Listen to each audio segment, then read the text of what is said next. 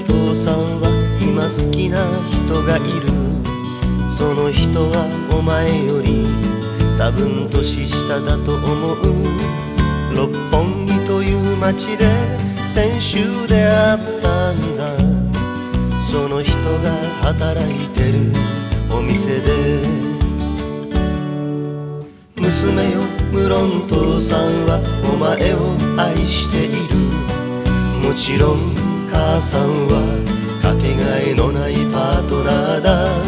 だけど六本木のその人はすごい美人なのに誰よりも父さんに優しくしてくれるんだ。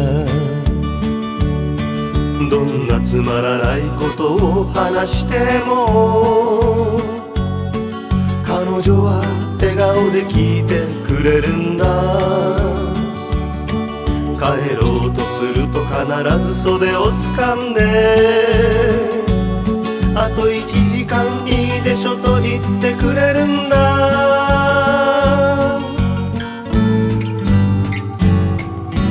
父さんは恥ずかしくなんかない。父さんはやっと目が覚めたんだ。父さんは本当の人生を生きるあの人は父さんを変えてくれたんだ。父さんは恥ずかしくなんかない。父さんはやっと目が覚めたんだ。父さんは本当の人生を生きるんだ。あの人は父さんを変えてくれたんだ。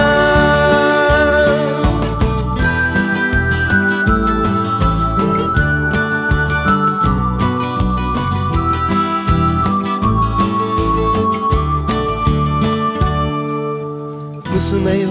実はあの人はひどい女だった。父さんのお金だけが目当てだったのかもしれない。父さんがちょっとだけ愛を確かめようとしたら勘違いしないでよおじさんと言われた。娘よ。でも父さんはもっと優しい人に出会った。疲れた体をもみほぐしてもらいたくて入った歌舞伎町という街のマッサージ店で日本語はあまりうまくなかったけど狭い部屋で60分しか会えないが父さんの下着もちゃんと手で持つよ。でくれるのも腰や肩だけじゃない。そして天国へと導いてくれたんだ。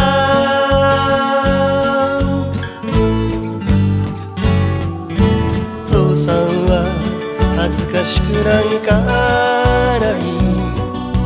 父さんはやっと目が覚めたんだ。人生を生きるんだ。あの人は父さんを変えてくれたんだ。父さんは恥ずかしくなんかない。父さんはやっと目が覚めたんだ。父さんは本当の人生を生きるんだ。あの人は父さんを変えてくれたんだ。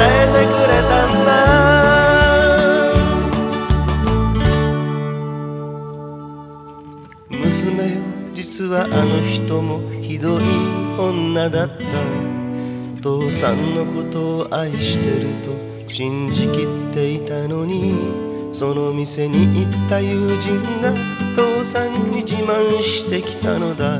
彼女は誰にでも同じことをしてたのだ。